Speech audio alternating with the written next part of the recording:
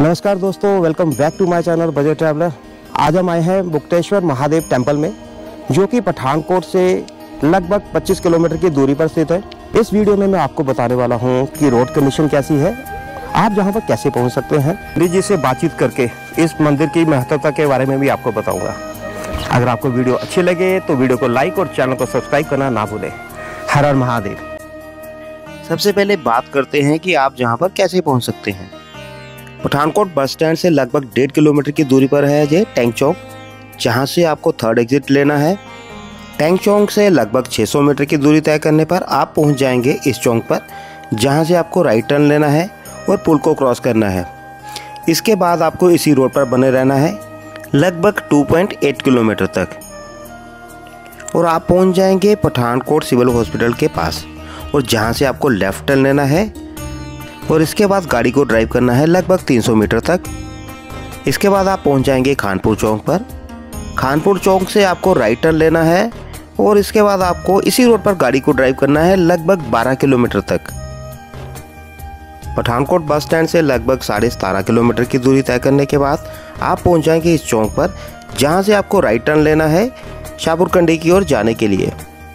शाहपुर कंडी से लगभग साढ़े सात किलोमीटर की दूरी आपको इसी रोड पर तय करनी है और आपको इसी रोड पर बने रहना है। जब आप साढ़े सात किलोमीटर की दूरी तय कर लेंगे तो आप पहुँच जाएँगे इस जगह पर, जहाँ से आपको लेफ़्ट टर्न लेना है और इसके बाद जहाँ से लगभग दो किलोमीटर की दूरी तय करने पर आप पहुँच जाएँगे मुक्तेश्वर महादेव मंदिर की पार्किंग में, जहाँ पर आपको सफिशेंट पार्किंग मिल जाएगी अपनी गाड़ी को पार्क करने के लिए। मुक्तेश्वर महादेव मंदिर की पार्किंग में पहुंचकर आपको इस बात का ध्यान रखना है कि आप अपने हाथ में खाने पीने वाली कोई भी वस्तु को ना पकड़े, क्योंकि जहाँ पर काफ़ी सारे बंदर हैं, जो आपके हाथ से खाने पीने वाली वस्तु या फिर मोबाइल को भी छीन सकते हैं।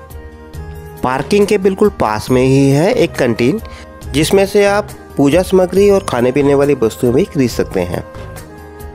मुक्तेश्वर महादेव की पार्किंग के साथ ही है लंगर हॉल, जो सुबह 9 बजे शुरू हो जाता है और 9 बजे से लेकर रात के 11 बजे तक आप जहाँ पर निशुल्क खाना खा सकते हैं। आप अपनी श्रद्धा के अनुसार जहाँ पर ऑफलाइन या ऑनलाइन के माध्यम से लंगर सेवा में योगदान भी दे सकते हैं। लंगर हाल के पास जो शेड है, उसके बाईं तरफ़ ही आपको टॉयलेट्स की सुविधा भी मिल जाएगी। मुक्तेश्वर महादेव मंदिर की जो गुफाएँ हैं, वो रावी नदी के तट पर स्थित हैं। मंदिर तक पहुँचने के लिए आपको पहले लगभग 300 सीढ़ियाँ नीचे उतरना पड़ता है। उसके बाद आप जाकर मंदिर के पास पहुँचते हैं। लंगर हॉल से नीचे मंदिर की तरफ़ जाने वाली जो सीढ़ियाँ हैं, इसके जो स्टेप हैं, काफ़ी बड़े बड़े हैं। तो आप इन सीढ़ियों पर उतरते हुए जल्दबाजी ना करें और बड़े ही ध्यानपूर्वक नीचे उतरें।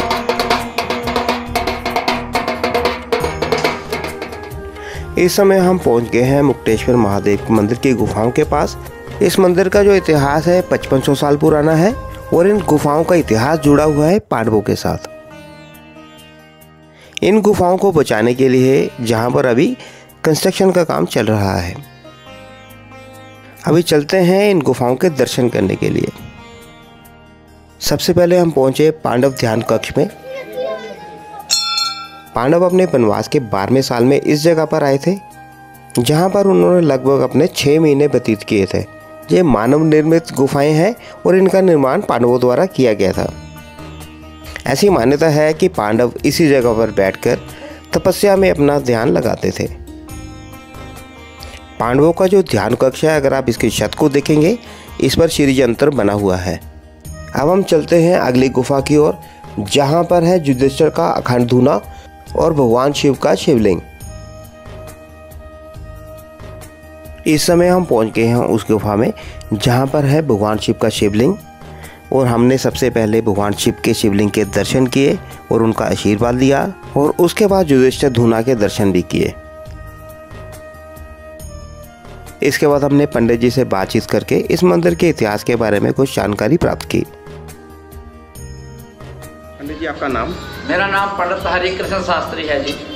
पंडित जी जो मंदिर है जो गुफाएँ हैं इसकी क्या महत्वपूर्ण है हमारे इतिहास के साथ क्या है? आज से साढ़े पाँच हज़ार साल पहले द्वापर युग में पांडवों को जब वनवास हो गया था बारह साल का तो पूरे हिंदुस्तान का भ्रमण करते हुए बारहवें साल के लास्ट में यहाँ पहुँचे थे। छः महीने जहाँ रहे, जब तक किया, पाँच गुफों का निर्माण किया।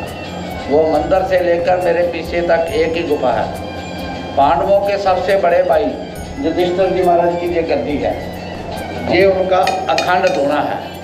ये चलता रहता और ये जो मेरे पीछे है ये द्रौपदी माता नाम से रसोई थी। ओके जहाँ पर उनकी रसोई थी हाँ सामने मंदिर है दो गुफा भी बाहर है देखने को लेकिन एक के दर्शन हो रहे हैं एक का रास्ता नहीं है अभी। और दो गुफा जो और थी ये बड़े पहाड़ के पीछे रावी नदी के बीच डूब चुकी है समा चुकी है खंडित हो चुकी है। ये मक्तेश्वर धाम है इनको मुक्ति का धाम भी कहते हैं। इनको जहाँ मिनी हरिद्वार भी कहते हैं। हाँ जी मैंने पढ़ा है कि मिनी हरिद्वार जहाँ पे कुछ लोग अपनी अस्थियाँ भी भरवाने आते हैं जहाँ अस्थियाँ सर्जन होती हैं पितरों का पिंडदान भी यहाँ होता है। हर मस्या पर श्राद्ध पर तीर्थ पर विसाखी पर जहाँ रहने की भी सुविधा है जहाँ हर समय लंगर है। सुबह जब नौ बजे शुरू हो जाता है आप रात के ग्यारह बारह एक बजे भी आ जाओगे आपको मिल जाएगा। बड़ी गर्मी में है ठीक है कम करते हैं? और सबसे विशेष बात भगवान शंकर जी ने जहाँ पांडवों को जीत प्राप्ति का आशीर्वाद दिया था। उसके बाद ये रावी नदी पार करके राजा विराट की नगरी जम्मू स्टेट में चले गए। अखनूर चिनाब नदी के ऊपर एक साल का जो अज्ञातवास था उनको उन्होंने वहाँ काटा था। आप मंदिर की तरफ़ एक बार देख लो। मंदिर के मत्थे के ऊपर टिक्के लगा रखे हमने नौ। ये नौ देवियों के दर्शन है। ये बहुत बड़ा टिक्का लगाया है इधर। ये है बाबा भैरवनाथ जी महाराज। और ये आपके पीछे पृथ्वी जाती है। ये है माता कमला देवी।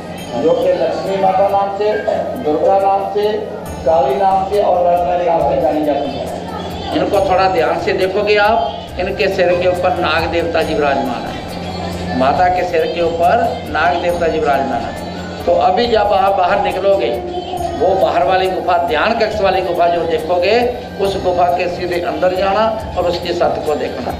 उसमें श्री जंतर बना हुआ है। लक्ष्मी माता का जंतर, उसके नीचे बैठकर पांडव ध्यान लगाते थे। यहाँ करोड़ों गुना फल की प्राप्ति मिलती है। एक विशेष बात और, जो जहाँ तीन अमावस्या लगातार स्नान करता है उसको हर द्वार के बराबर पुण्य का फल प्राप्त होता है। बोल शंकर भगवान की और। बहुत बहुत धन्यवाद पंडित जी। जितना कहोगे। पंडित जी से बातचीत करने के बाद हमने कुछ समय भगवान शिव के चरणों में व्यतीत किया और उसके बाद हम पहुँच गए रावी नदी के तट के पास। अगर आप इस जगह के बारे में कुछ भी इन्फॉर्मेशन जानना चाहते हैं तो आप कमेंट बॉक्स में डालकर हमसे पूछ सकते हैं। मैं इनका जल्दी से जल्दी जवाब दूँगा। तो ये था हमारा मुक्तेश्वर महादेव टेंपल से आज का ब्लॉग। अगर आपको हमारा ये ब्लॉग पसंद आया है तो प्लीज़ लाइक सब्सक्राइब और शेयर करना ना भूलें। ताकि हम ऐसी और इन्फॉर्मेटिव वीडियो बनाकर आप लोगों के साथ जुड़ सके। Thanks for watching thanks for your time Har Har Mahadev.